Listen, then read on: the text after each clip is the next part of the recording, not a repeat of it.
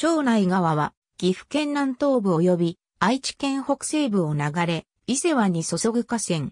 一級水系庄内川の本流である。岐阜県内では、時川と呼ばれている。岐阜、愛知県境の諏訪大橋から下流の玉野渓谷区間では、玉野川と呼ばれることもある。水源は、岐阜県江那市の夕立山、水波、時、多治見の盆地を流れ、愛知、岐阜県境の玉野渓谷を抜けて、春日井市構造寺で、濃尾平野に出る。名古屋市港区で、伊勢湾に注ぐ。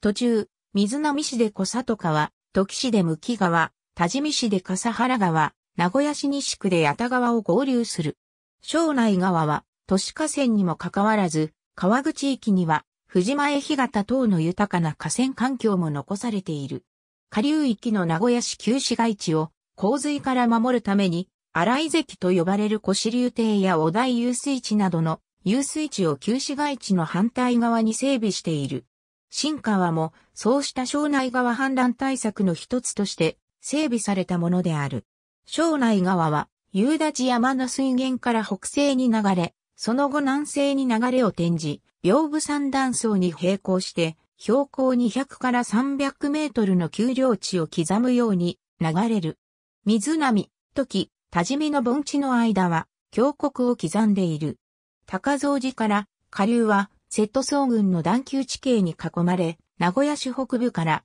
下流は低平地が広がっている。また、庄内川下流域は、濃尾平野の海抜0メートル地帯となっている。庄内川は昔、時川、玉野川、勝川、琵琶島川、万場川、一式川などと、その沿線の地名で呼ばれており、一貫した呼び名はなかった。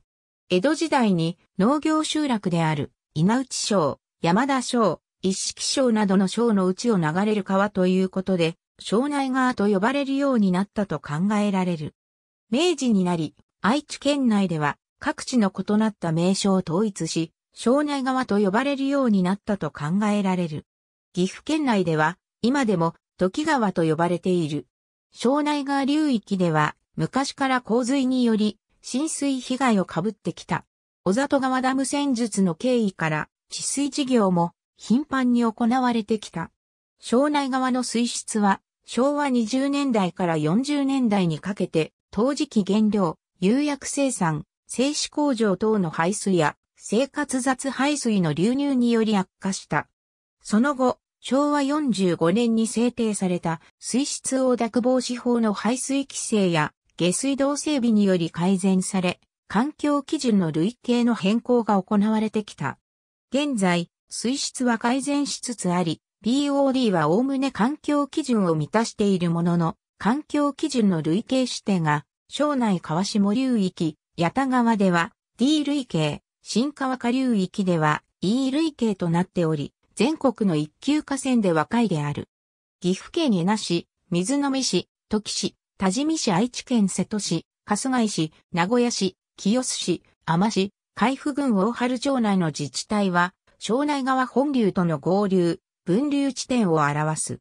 時川橋多治見橋条例橋新明財橋と赤トンボ橋名港西大橋都市部を流れる庄内川では河川敷を利用し、毎年祭りや花火大会などのイベントが開かれている。主なものは以下の通り。ありがとうございます。